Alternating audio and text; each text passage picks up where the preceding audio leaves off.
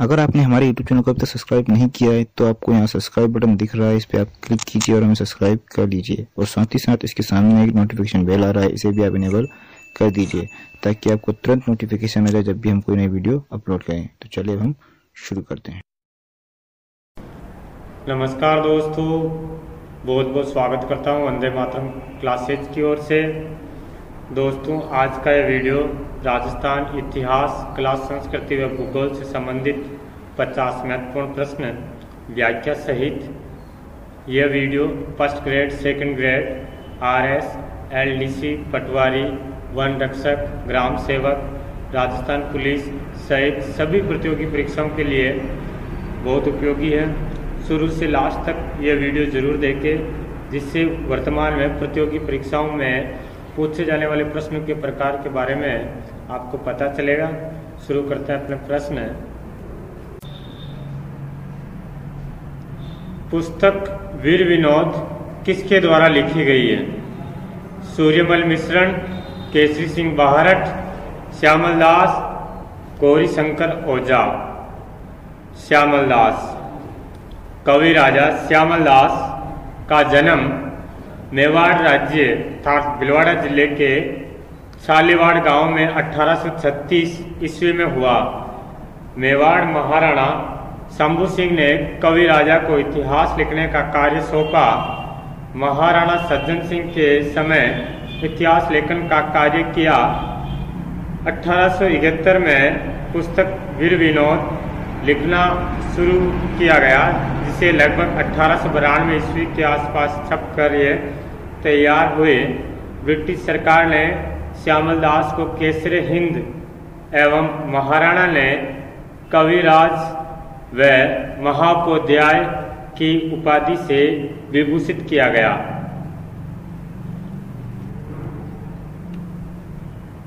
Mesolithic शब्द का वास्तविक शाब्दिक अर्थ है मध्य पाषाणकालीन युग मध्य पूरा पाषाणकालीन पूरा पाषाण काल युग निम्न पूरा पाषाण काल मध्य पाषाणकालीन युग तो पाषाण काल को तीन भागों में बांटा गया है पूरा पाषाण काल मध्य पाषाण काल और नव पाषाण काल पूरा पाषाण काल को पेलियोलिथिक कहा जाता है और नव पाषाण काल को नियोलिथिक कहा जाता है निम्नलिखित में से कहा के शासकों द्वारा रावल तथा महारावल की उपाधियां ग्रहण की गई थी जोधपुर डूंगरपुर कोटा बीकानेर तो इसका आंसर है डूंगरपुर डूंगरपुर रियासत के शासक रावल तथा महारावल की उपाधियां ग्रहण की गई कोटा राज्य का संस्थापक निम्न में से कौन था मुकुंद सिंह राव माधो सिंह राव रतन सिंह जालिम सिंह तो इसका आंसर है राव माधो सिंह कोटा राज्य राव माधो सिंह ने सोलह सौ इकतीस ईस्वी में इसकी स्थापना की गई थी इससे पहले कोटा बूंदी रियासत के अंतर्गत आता था निम्नलिखित में से किस मुगल शासक ने सवाई जय सिंह को राज राजेश्वर की उपाधि से विभूषित किया था औरंगजेब शाहजहा बहादुर शाह मोहम्मद शाह इसका आंसर है मोहम्मद शाह जयपुर के शासक सवई जय सिंह ने जाटू के विद्रोह को दमन किया था जिसके कारण मोहम्मद शाह ने जय सिंह को राज राजेश्वर श्री राजाधिराज उपाधि से विभूषित किया गया था निम्नलिखित में से कौन सा सही मेल नहीं है राणा प्रताप सिसोदिया राजा मान सिंह हाड़ा जसवंत सिंह राठौड़ महाराणा हमीर गुहिल तो इसमें राजा मान सिंह हाड़ा ये मेल नहीं है राजा मान सिंह आमेर के थे जो कच्छा वंश से संबंधित थे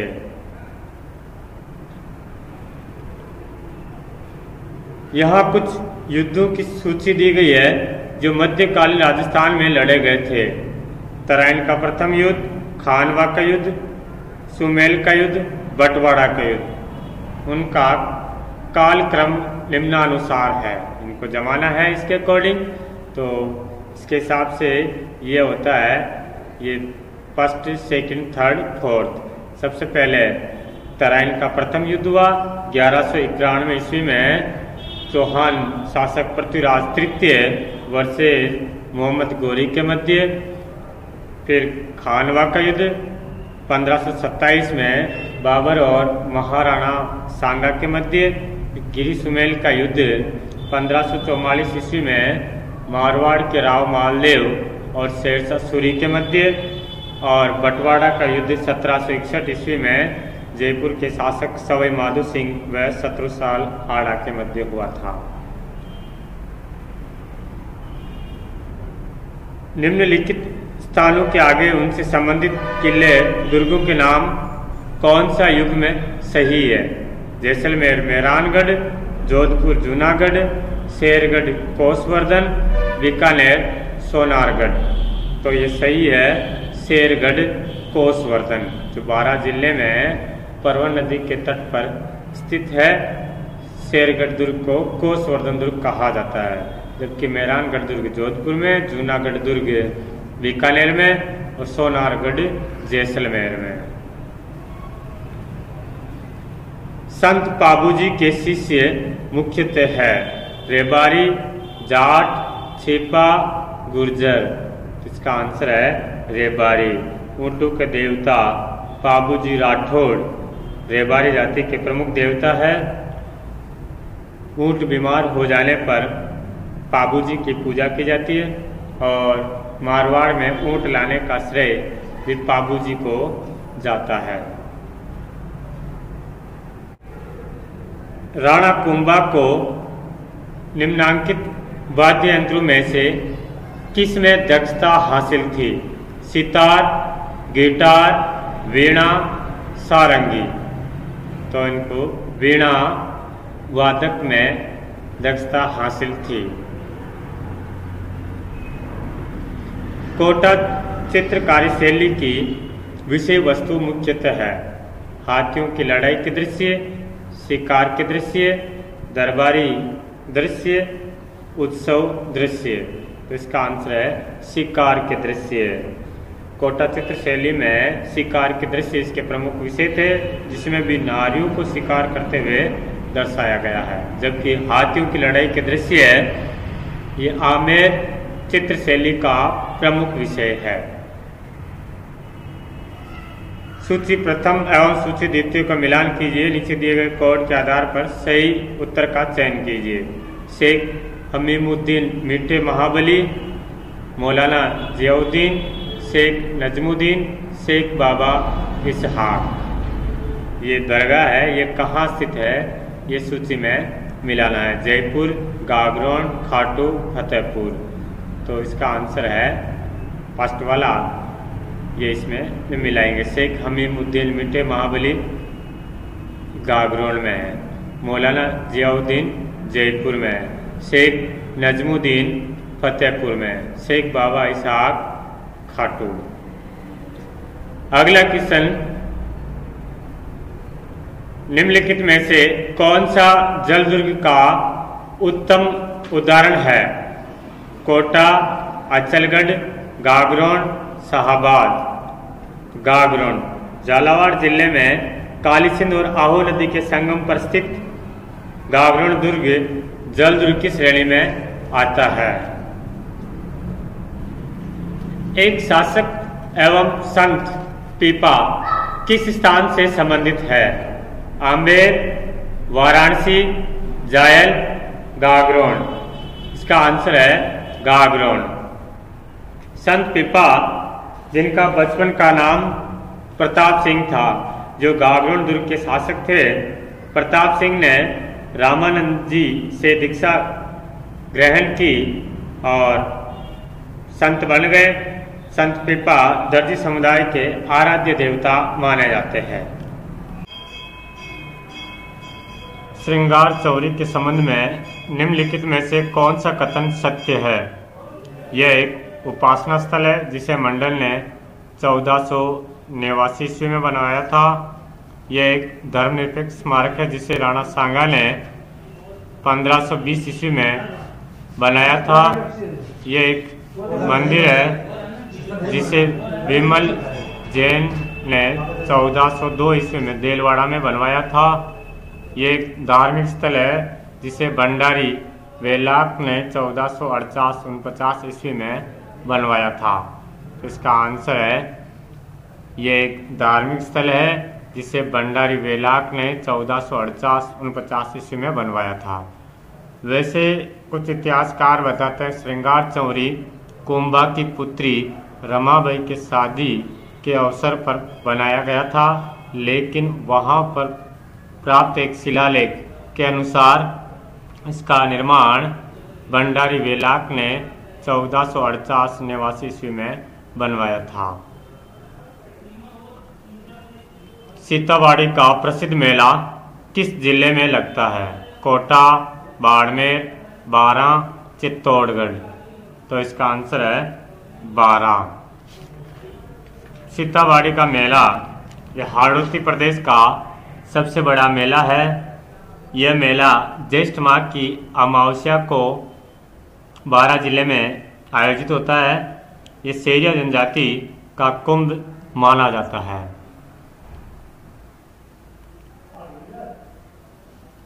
रानी जी की बावड़ी का निर्माण खालिस्तान के द्वारा सन खालिस्तान में राजा के शासनकाल में करवाया गया था नाथावती रानी द्वारा सोलह सौ ईस्वी में राव अनिरुद्ध सिंह के काल में भीम सिंह द्वारा 1705 ईस्वी में राव बुद्ध सिंह के काल में लॉर्ड कौरव द्वारा 1708 ईस्वी में राम सिंह के काल में लॉर्ड कौरव द्वारा 1700 ईस्वी में बुद्ध सिंह के काल में तो इसका आंसर है नाथावती द्वारा सोलह सौ ईस्वी में राव अनिरुद्ध सिंह के काल में रानी जी की बावड़ी का निर्माण करवाया गया जो ये बूंदी में स्थित है चैम्बर ऑफ प्रिंसेस का प्रथम चांसलर कौन था महाराव भीम सिंह करणी सिंह गज सिंह गंगा सिंह इसका आंसर है गंगा सिंह बीकानेर के महाराजा Ganga Singh chamber of princes जिसे नरेंद्र मंडल भी कहा जाता है ये भारतवर्ष का एक पूर्व विधानमंडल था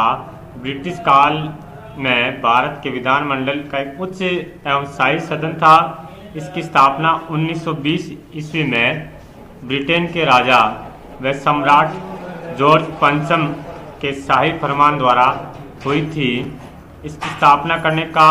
मूल उद्देश्य ब्रिटिशकालीन भारत की रियासतों को एक विधानमंडल रूपी मंच प्रदान करना था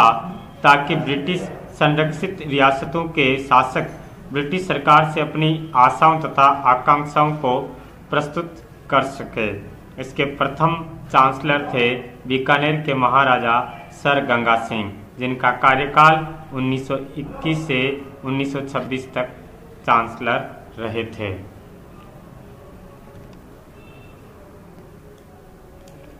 मेवाड़ एवं अंग्रेजों के मध्य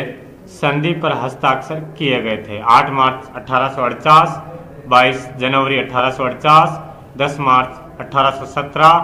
10 मार्च 1818। इसका आंसर है 22 जनवरी 1818 ईस्वी में मेवाड़ और अंग्रेजों के मध्य संधि हुई थी मेवाड़ के महाराणा भीम सिंह ने अंग्रेजों से संधि की थी 22 जनवरी 1818 ईस्वी में भरतपुर एवं अलवर ने ब्रिटिश ईस्ट इंडिया कंपनी के साथ संधि की थी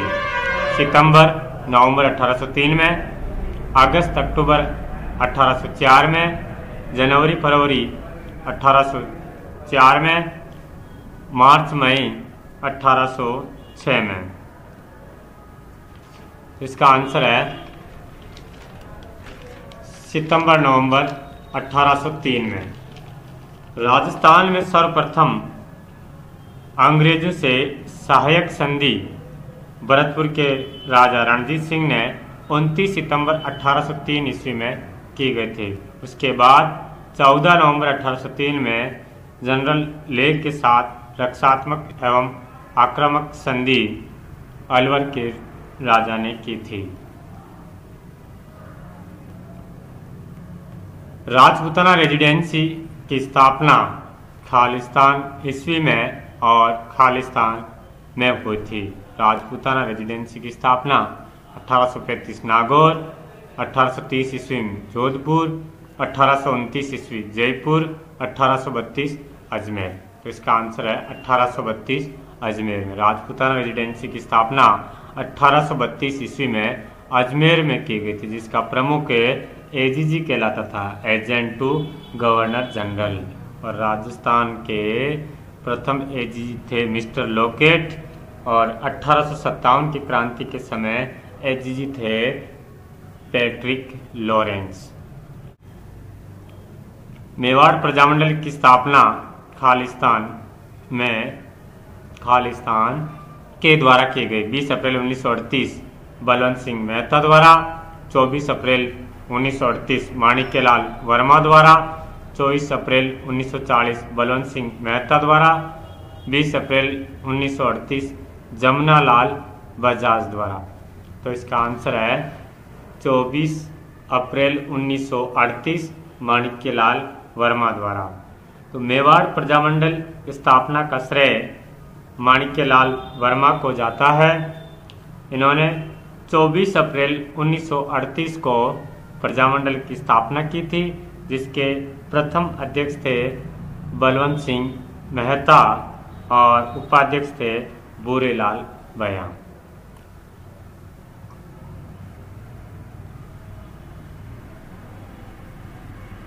निम्नलिखित में से कौन सी घटना को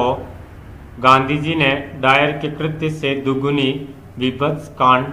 बताया निमोचना घटना मई 1925 चंदावल की घटना मार्च 1942 डाबला की घटना मार्च उन्नीस वरड़ की घटना जून 1922 तो इसका आंसर है निमोचना घटना मई 1925 अलवर रियासत में नीमूचना ठिकाने में नीमूचना गांव में 14 मई 1925 को किसानों की सभा पर छाजू सिंह जिसे राजस्थान का जनरल डायर कहा जाता है छाजू सिंह ने गोलियां चलाई थी जिसमें कई किसान शहीद हो गए थे इस घटना को गांधी जी ने डायर के कृत्य से भी दुगुनी बताई है दोहरी जुरिज में शाही ड्यूरिज्म डायर शाही की संज्ञा दी और जलियावाला बाग हत्याकांड से भी अधिक क्रूर बताया था प्रसिद्ध एक ही आंदोलन का नेतृत्व किया गया था गोविंद गिरी मोतीलाल तेजावत साधु सीताराम केसरी सिंह बाहरट तो इसका आंसर है मोतीलाल तेजावत 1921 ईस्वी में मोतीलाल तेजावत ने मातृकुंडिया नामक स्थान से एक ही आंदोलन शुरू किया था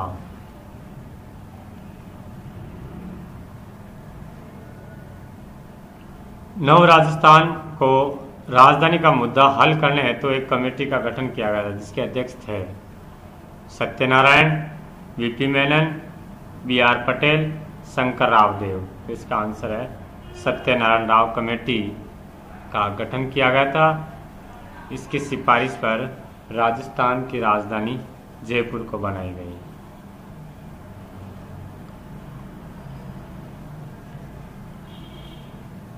क्षेत्रफल में राजस्थान का जैसलमेर जिला धौलपुर जिले से कितना बड़ा है पंद्रह पॉइंट बाईस गुणा सोलह पॉइंट सासठ गुणा बारह पॉइंट सासठ गुणा ग्यारह पॉइंट बाईस गुणा तो इसका आंसर है बारह पॉइंट सासठ गुणा क्षेत्रफल की दृष्टि से जैसलमेर जिला राजस्थान का सबसे बड़ा जिला है जबकि सबसे छोटा जिला है धौलपुर तो जैसलमेर जिले का क्षेत्रफल धौलपुर जिले के क्षेत्रफल से बारह पॉइंट गुना बड़ा है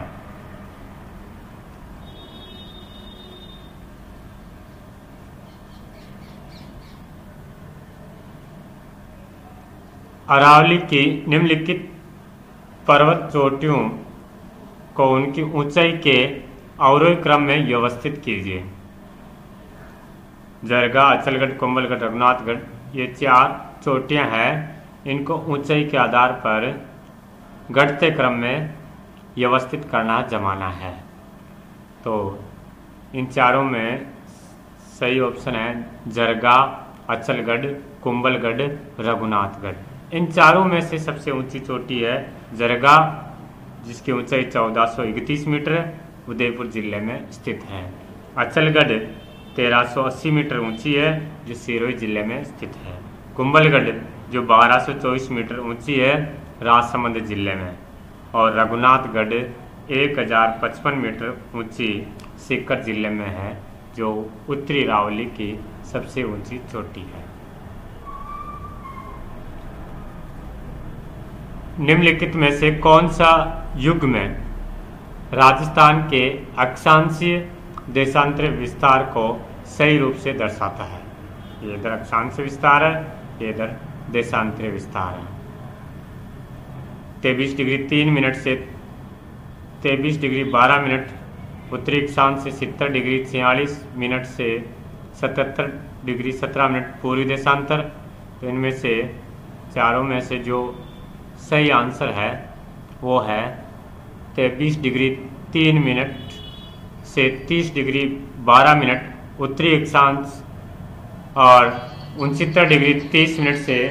अठहत्तर डिग्री सत्रह मिनट पूर्वी देशांतर के मध्य राजस्थान स्थित है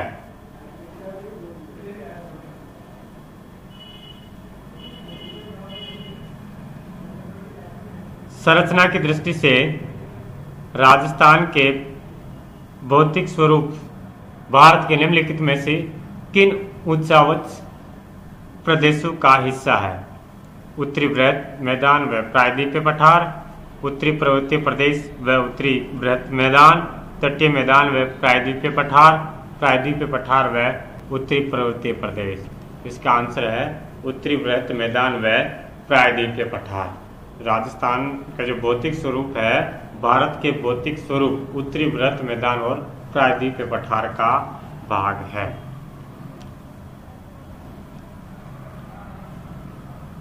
निम्नलिखित में से कौन सा पठार अरावली पर्वत से संबंधित नहीं है लसाड़िया पठार उडिया पठार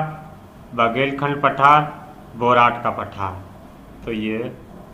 बघेलखंड का पठार अरावली पर्तमाला से संबंधित नहीं है जबकि लसाड़िया का पठार यह उदयपुर जिले में जयसमंद झील के पूर्वी भाग में स्थित है उड़िया का पठार जो सिरोई में है 1360 मीटर ऊंचा राजस्थान का सबसे ऊंचा पठार है उड़िया का पठार और बोराट का पठार ये गोगुंदा से कुंबलगढ़ उदयपुर और राजसमंद जिले में स्थित है 1225 मीटर ऊंचा जो राजस्थान का तीसरा सबसे ऊंचा पठार है जबकि दूसरा सबसे ऊंचा पठार आबू का पठार सिरोई में स्थित है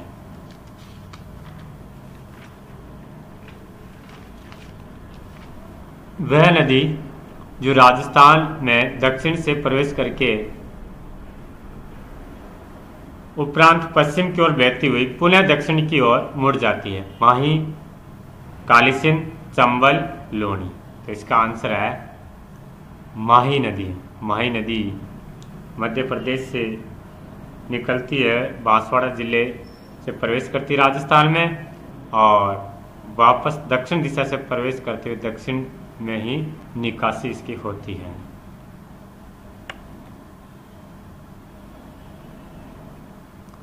निम्नलिखित में से कौन सा युग में सही सुमेलित है चंबल परियोजना राजस्थान उत्तर प्रदेश नर्मदा परियोजना राजस्थान उत्तर प्रदेश माही बजाज सागर परियोजना राजस्थान मध्य प्रदेश व्यास परियोजना राजस्थान हरियाणा तो इन चारों में से सही है व्यास परियोजना राजस्थान हरियाणा चंबल परियोजना राजस्थान और मध्य प्रदेश की संयुक्त परियोजना नर्मदा परियोजना ये चार राज्यों की संयुक्त परियोजना राजस्थान मध्य प्रदेश महाराष्ट्र और गुजरात की संयुक्त परियोजना नर्मदा परियोजना माही बाजार सागर परियोजना राजस्थान और गुजरात की संयुक्त परियोजना है विजराल की पहाड़ी से निकलने वाली खारी नदी निम्नलिखित में से किस अपवा तंत्र का भाग है बंगाल की खाड़ी अरब सागरीय अनिश्चित अपवा आंतरिक अपवा तो यह बंगाल की खाड़ी अपवास क्षेत्र से संबंधित है गुजराल की पहाड़ या जुरासमंद में जो खारी नदी का उद्गम होता है ये टोंक जिले में राजमहल के समय बनास में मिलती है बनास चंबल नदी में मिलती है बंगाल की खाड़ी जाने वाली नदियों में है कोपेन द्वारा प्रस्तुत जलवायु प्रदेशों में से राजस्थान में कौन सा सम्मिलित नहीं है ए डब्ल्यू राजस्थान का दक्षिणी भाग सी डब्ल्यू जी राजस्थान का उत्तरी भाग बी डब्ल्यू एच डब्ल्यू शुष्क मरुस्थल बी एस एच डब्ल्यू अर्ध शुष्क मरुस्थल तो इसका सही आंसर है सी डब्ल्यू जी राजस्थान का उत्तरी भाग जो ये सम्मिलित नहीं हो रहा है सी डब्ल्यू जी ये उपाद्र जलवायु प्रदेश यानी पूर्वी राजस्थान भाग को दर्शाता है 1918 में कोपेन द्वारा वनस्पति के आधार पर जलवायु का वर्गीकरण किया था जिसको राजस्थान को चार जलवायु में बांटा था निम्नलिखित में से कौन सा युग में सही सुमेलित नहीं है उदयपुर चित्तौड़गढ़ लाल काली मिट्टी अलवर जयपुर दोमट मिट्टी श्री गंगानगर हनुमानगढ़ बूढ़ी बलुई मिट्टी कोटा जलावार काली मिट्टी तो ये सुमेलित नहीं हो रहा है श्री गंगानगर हनुमानगढ़ यहाँ बुरी बलुई मिट्टी नहीं बुरी मटियार दोमट मिट्टी पाई जाती है अगला क्वेश्चन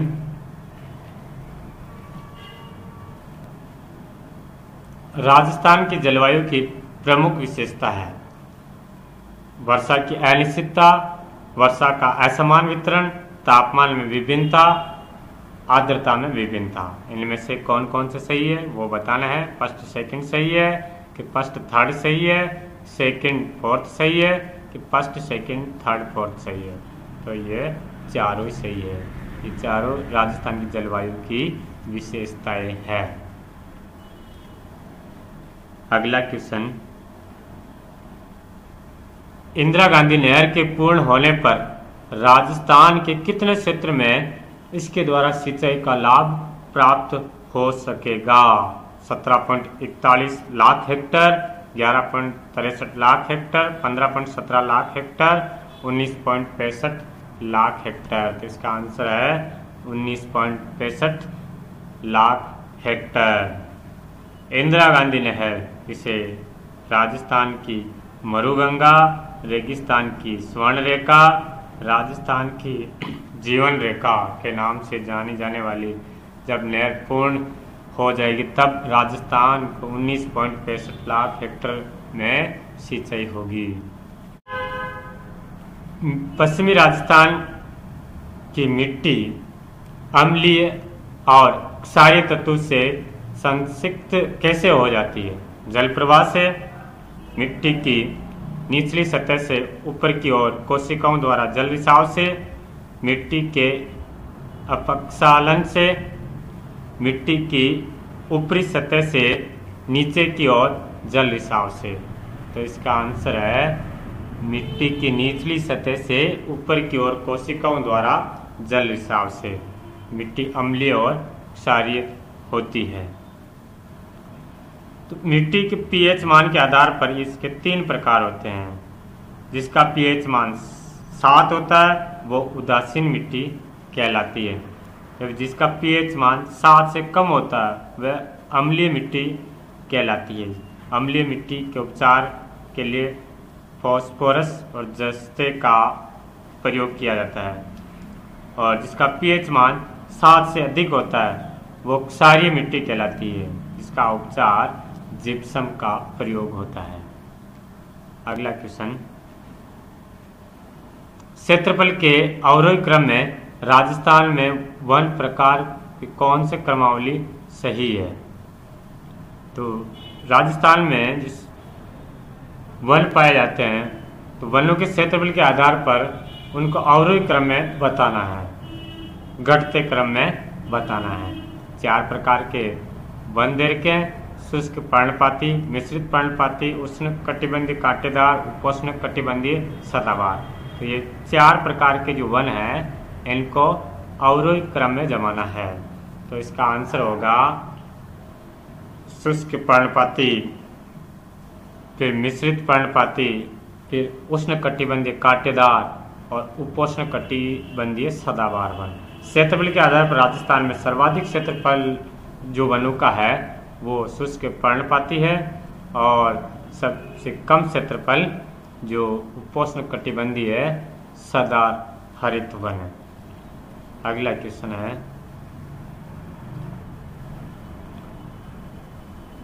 राजस्थान निम्नलिखित में से किन वन्य जीव पारिस्थितिकी स्थलों पर वर्तमान में जैव विविधता एवं जीन पुल संरक्षण का कार्य प्रगति पर है बूंदी ताल छापर फुलवारी किनाल बंदवारेटा नारगढ़ सज्जनगढ़ सरिस्का माउंट आबू सीता माता कुंबलगढ़ केला देवी केवला देव गना पक्षी विहार केवला देव गना पक्षी विहार जयसमन झील मुकुंदरा पहाड़ी रणथम्बोर तो इसमें आंसर सही होगा नाहरगढ़ सज्जनगढ़ सरिस्का माउंट आबू नाहरगढ़ जो जयपुर में सज्जनगढ़ उदयपुर सरिस्का अलवर माउंट आबू सिरोई में है अगला क्वेश्चन राजस्थान के जिले जिले में खस नाम की सुगंधित घास प्रचुरता में उगती है झालावाड़ बूंदी कोटा बिलोड़ा अजमेर चित्तौड़गढ़ भरतपुर टोंक सवाईमाधोपुर करौली अलवर धौलपुर इसका आंसर है भरतपुर टोंक सवाईमाधोपुर राजस्थान के पूर्वी भाग में खस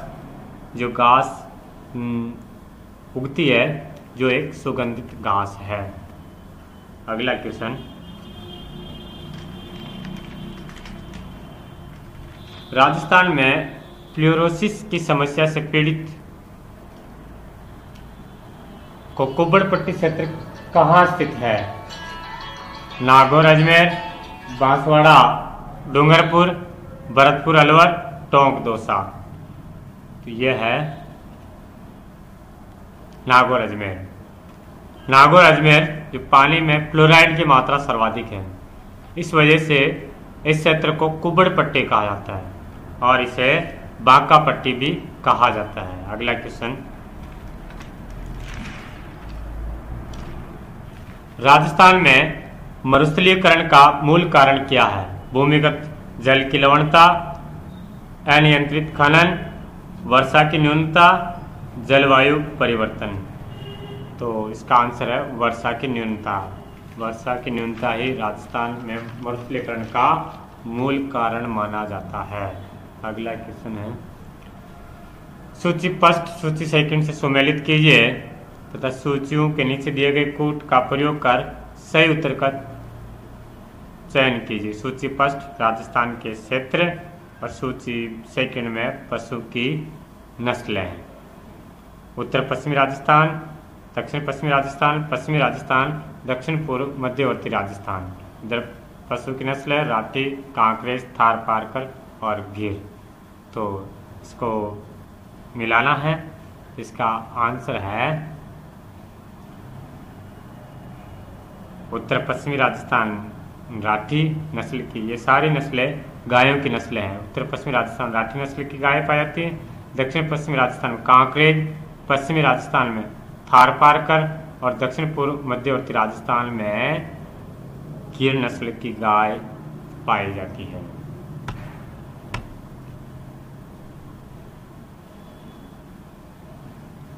राजस्थान से गुजरने वाले निम्नलिखित राष्ट्रीय राजमार्ग में से कौन सा राष्ट्रीय राजमार्ग राजस्थान भूभाग में सर्वाधिक लंबा है एन एच ग्यारह एन एच बारह एन एच पंद्रह एन एच आठ इसका आंसर है एन एच पंद्रह एन एच पंद्रह पश्चिमी राजस्थान में अंतर्राष्ट्रीय सीमा के समांतर गुजर रहा है इसकी कुल लंबाई आठ किलोमीटर है जो तो राजस्थान का सबसे लंबा नेशनल हाईवे है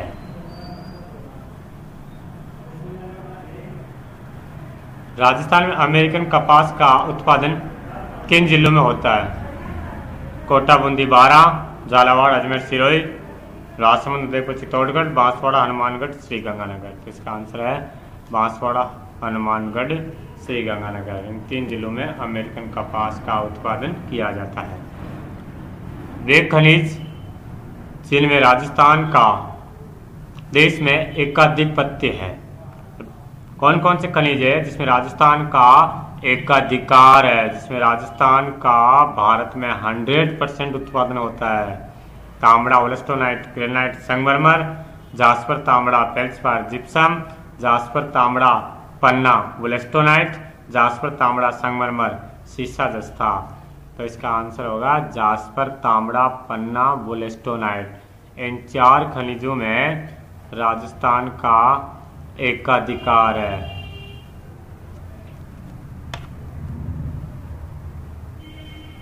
अगला क्वेश्चन राजस्थान की प्रथम सिंचाई परियोजना जिसमें जल संरक्षण हेतु फवारा पद्धति को अपनाया गया था यमुना जल सिंचाई परियोजना नर्मदा नहर परियोजना सिद्धमुख नहर परियोजना सागरवाड़ा नहर परियोजना तो इसका आंसर होगा नर्मदा नहर परियोजना 18 मार्च 2008 को सिलू गांव में पानी पहुंचाया गया था यह नर्मदा नहर से और जालोर बाड़मेर दो ज़िलों में से सिंचाई होती है तो राजस्थान की पहली परियोजना है जिससे फंवारा सिंचाई पद्धति अपनाया गया है